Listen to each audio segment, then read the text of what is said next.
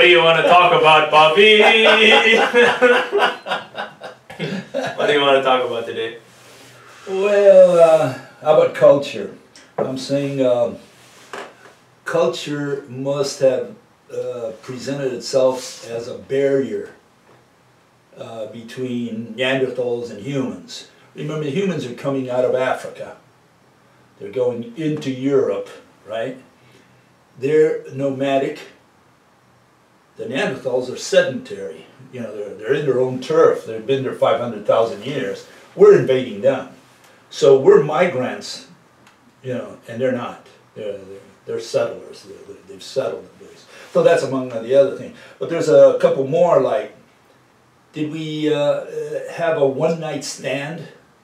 Was it, was it just a couple of incidences where maybe a Neanderthal raped a woman or something like that? What are you talking about? Well, you lost me. Well, that got to do with culture? Yeah, it's got to do with culture because the question is, what was the family type? What was the mentality of a Neanderthal? Try to, we're trying to think, you know, put our brains in his brain or trying to figure out what, what he was thinking. Uh, did would he go out there and uh, rape a woman, or would he have long-term relationships with humans? W- were they buddies? Were they neighbors? Were they friendly neighbors? And they said, "Yeah, come join the bounty of the land. We're, we're going to hunt together." Well, you said that they were neighbors. If, if the humans are invading, Invading. Well, we call it an invasion. It's a migration, right? Assuming. but they saw each other.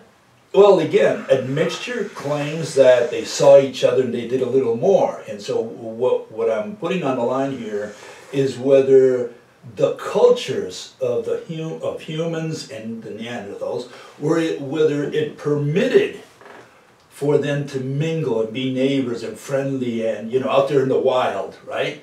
Did they hunt together? Did were they beer buddies? Did they swap wives? Or were they enemies and you know, oh, I'm gonna kill you? I mean, what was their relationship? So in that sense, culture does play a role. You know, what was their mentality? What role does culture play in the neighborliness of these two species? Well, look at it from this point of view.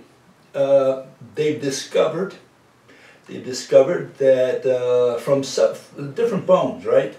That uh, Neanderthals did engage at one point or another in cannibalism. Oh shit. Yeah, they, they and they cut their own people. You know, they they, you, they see chop marks in the bones that they said this wasn't done by a tiger. This was done by a Neanderthal who who were trying to get the, to the bone marrow of his own kind.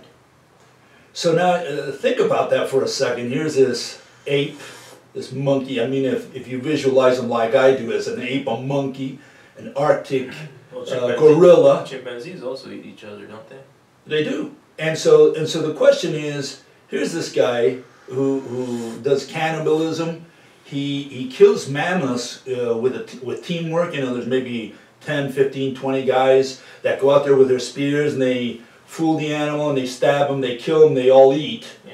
He he's living this very uh, you know basal type of life. He- He's he's got he's he's really a very prehistoric type of hunter gatherer.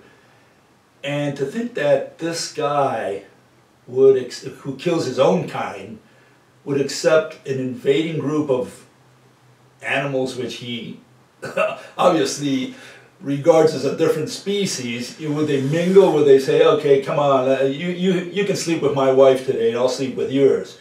You know, it's, it's very hard to believe. The culture would stand in the way of such a rugged species that, you know, that thinks of only the basics, of only killing some animal, eating, and living one more day. From there to extrapolate that they would invite humans in, they had a great party. Does it have to be an invitation? Like it can be uh, animosity and still have intermingling, without rape necessarily. there was there was fighting even the worst en- enemy of a Neanderthal was another Neanderthal. That's what I'm saying. It's like And- you're already enemies but- with everyone. But then but then we got to look at what was the family structure, what was their culture like, and that's what I'm getting at. I'm saying one way of figuring that out is to look at the great apes that we have today. What kind of societies do they have? You know, you got the gorilla. He's got a patriarchal society where You know, he's the dominant, the silverback, he's the dominant guy, right? And he's got his harem. The chimps, they don't have that same situation. They, they have a kind of like a uh, fatherly figure who's not the strongest, but the smartest, the guy who can manipulate the others. You've got the orangutans, and they're solitary. They're like the tigers. You know, there's one orangutan, he's got several women, uh, several females, and they take care of their own regions, and he kind of visits all of them. so they all have these different structures. And The question, what was the structure of the Neanderthals?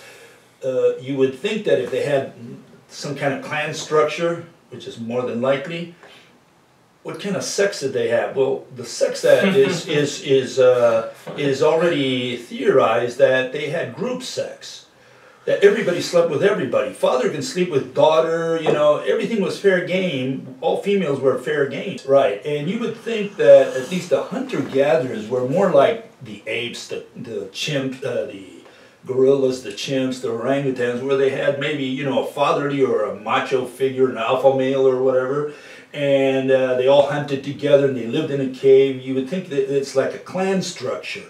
And that's a very close knit society because that's the country, that's the flag, that's the national anthem.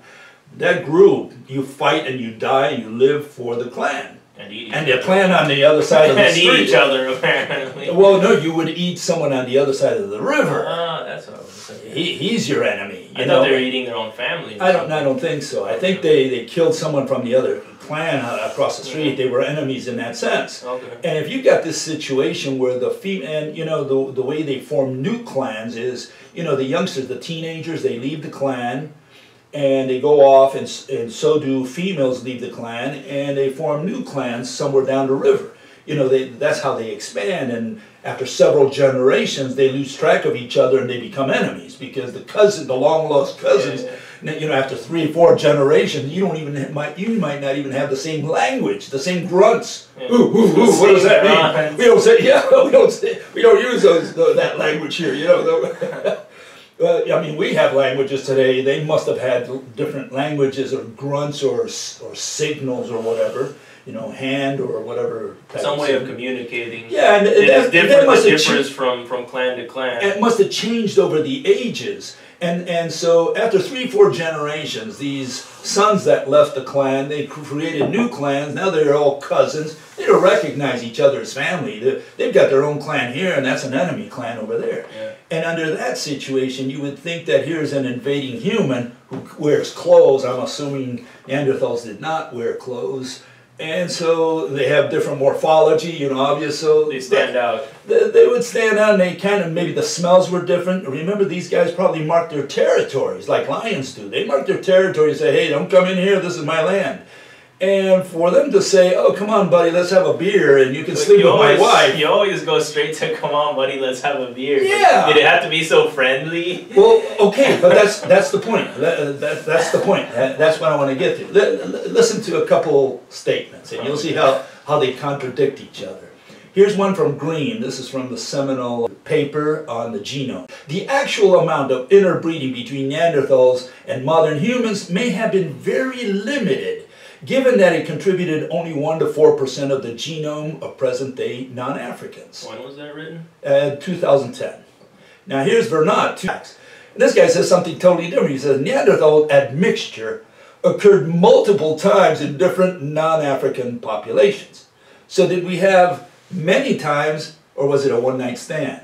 Was it just uh, Neanderthal raped or whatever a woman out there in the middle of nowhere? That's how we got all our genes from from the Neanderthals, or was it a continuous you know, uh, intermingling. Were, were we friends? Were we neighbors? You know, and I'm saying that you must, in order to get rid of all the Neanderthals, in order for them to become extinct, you must have generation after generation after generation. You have to have mingling. You have to have sex. You can't just have a one night stand and say, "Oh, from that, all the Neanderthals became extinct." You see what I'm saying? A little bit. I mean, you can't say, uh, okay, so we had a one night You're stand. saying, Uh, you're I'm saying saying you uh, can't you can't explain the, the extinction of the Neanderthals explain was a one night stand. extinction with, of the Neanderthals. The with only- saying that, that they only raped one woman. And- Because you and- still have to explain how, How those they- they- Neanderthals died. right. Yeah. imagine now the, the Neanderthals, you know, they, they have sex with us, right? Two or three guys, one night stands, right? Uh, rape or consensual, I don't care. The point is, now they gave us a little bit of their genes, right? Yeah. So there's two, three, four, a hundred guys, but there's thousands of these Neanderthals. What happened to the rest of them? Why did they interbreed and continue, you know, having children? We would have Neanderthals today. Assuming So- nothing bad happened. Right. Like so so so we still have not explained the extinction of the Neanderthals because two or three of them had sex with us. Oh, Yeah, I'm, I'm assuming that I'm assuming that they say that we we're constantly intermingling with them. The only way you can do that is what you just said. It has to be generation after generation, constantly intermingling. Then we could say, yeah, they're They they got uh, to the last man, to the last Neanderthal, they all had sex with us. Yeah. Generation after, then we can explain that. But if it's just a one night stand, like these guys are trying to say here, like, yeah, we had a little bit of sex there, that doesn't explain the ex- extinction of the Neanderthals. And so that's one issue. So, uh, you know, that I think is important because, again, if these guys were violent and they killed, uh, you know, animals just to live, just to eat, and they were, uh, engaged in cannibalism, it's very hard to believe that a mind like that would suddenly accept or tolerate some other species in their hunting grounds and say, oh yeah, you can go ahead and hunt and you can have sex with my wife too. Mm. It can't be a one night stand. It has to be friendliness. You have to have this wildlife friendliness where we say, okay, you, you can join us. but why does it have to be friendly? Well, how else can you explain? How else can you explain that they had sex over many generations? Not a one night stand anymore. Now we're talking about many generations where they mingled and had sex. They had kids, right? And they had, and these had kids. And eventually, you know, the Neanderthal blood died out because they were a smaller population. Yeah, can it be something like the humans went in there, killed all the males? Ah, but then we're not talking about sex. See, I'm, I'm talking about that mixture, sex only. Yeah, So how killed you, all the males oh, okay, and slept with all the women. okay. Wouldn't that? All the women. Yeah, or 90 Can't be a one night stand. See what they're saying is uh, there, there was two guys that had sex there, and No, no, no, the but ninety nine percent of the population was not touched. let's That's the assume point. let's assume like humans went in there, killed all the males, Mhm. and just took their wives. Okay, let's Wouldn't- assume that. Wouldn't that be admixture in essence? No, it would be killing. No, because the women are still alive. Yeah, but you're killing all the male. You're you're you're invoking a different kind of mechanism. You're saying that what happened here is that we wiped out the males. That's that's your starting point. Yeah. You said you we wipe out the males and we had sex with the women, right? With, with a Neanderthal female. like a war. Like a, Like a war. It was chimps do that. War. Chimps do that. Uh, yeah, Yeah, they go to the next uh, tribe over there, the next clan over, and they kill the males. They killed the old ladies. Humans do that, but I was, I, was re- I was reading the Iliad, and that's all they talked about. We're gonna kill, make the men all, all our slaves and sleep with their wives. That's all they talked about when they were talking about taking Yeah. over the city. And so, yeah, you can you can concoct many scenarios. My point here is what the official, uh, what the papers say. What Well, the, how do- how do and they're we- saying there was a one night stand. From there, we got our one two to four percent. many. Huh? One of them s- you- you Yeah, because there's a contradiction. One says, but again, it says Neanderthal admixture occurred multiple times in different non-African populations. Uh, in other words, multiple times. Yeah, what does that, does- mean? Yeah, that sounds kind of That, that just means that okay, it just didn't happen once. It happened. There were it was two guys. It was times. yeah, it was ten guys. Uh, no, you have to have the only way to do only way that is just generation. through war, where, No, you, or- where you or- kill all the males and take their wives. Okay, or Or friendly, many many generations uh, of of uh, you know mingling, yeah, friendly, of neighborliness. Friend, friendly, I can't really see. Yeah. I can see a war of them just taking the women. You know that I can see, yeah, but yeah. then you're right. That wouldn't really be extinction through admixture. That'd be extinction through war. What is an extinction through war? The other one is hard to believe that basal hunter gatherers, you know, just a rudimentary type of hunter gatherer, would carry out a full fledged war where all these well, clans. it's not a war. I'm saying I'm saying like quasi war, where the humans kind of go in there, kill a, the male, all the males of a clan, and then just keep going and killing off all the males of the Yeah. clan. That kind of like territorial yeah. taking over. Yeah, you could.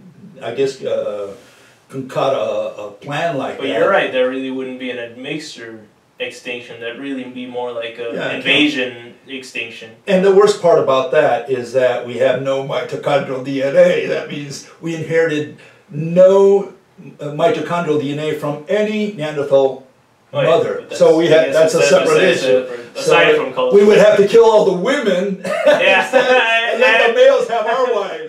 It would have to be like that. Maybe they killed all our males. Be weird. no, because then they'd be in Africa. We'd see Neanderthal Yeah. skulls in Africa. You can't really have that either. That's one issue. Another one That was is a lot of issues. But yeah, yeah. Uh, another one was there a lack of females? I mean, was there a lack of? Yeah, I mean the Neanderthals here. Uh, why would they have to have sex with our women? That Didn't they have women over there? That sounds like, like like something my wife would say. What? I'm not good enough for you. You have to go sleep with that human girl. Yeah, and and and then the question is, I mean, if this if this was rape, that's one issue. Another one is if it's consensual. We're like we're neighbors, and your wife comes over and she has tea with me. Is that what neighbors do? Well, I don't know. I mean, that is a really uh, friendly neighbor. Do you have some sugar? Yeah, you go- sugar, maybe your wife. I don't know. So she comes over, she has sex, what, in the cave, in front of all the squaws, all the Neanderthal squaws, they, they, they're just looking there and saying, yeah, just, he's having sex with a human, you know. I mean, uh, does that sound realistic? Or vice versa, you know, the Neanderthal going into our cave and having sex with a woman over there. Yeah, I don't know. I think rape, rape and war sound like the most like logical In the wild. In the wild. Yeah. But then it can't be a one night stand, it's gotta be generation Yeah, after generation forget after the one night stand thing. It's definitely not a one night Yeah, stand. and that's what these guys are saying to justify the small amount of DNA. That's why they bring Oh, that up. yeah. See, there is a reason for that. but, but why do they have to say one night stand to justify that? Can't they just say that it was kind of diluted? Like it used to be 50 50, but then he, there are so many humans that it's so slowly diluted they down. have that argument as well. They've got both arguments, but because of what the genetics shows them when they do regression analysis on the DNA, they say, well, you know, the only way we can justify this is if you know they had like They didn't do it so much. right.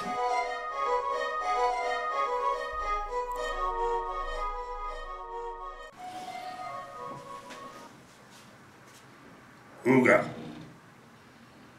So, what should we do with it, mixture theorists? Well, let me tell you what I think. Cowabunga!